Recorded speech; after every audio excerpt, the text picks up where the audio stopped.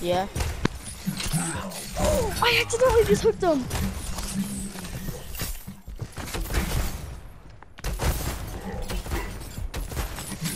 I need to clip that.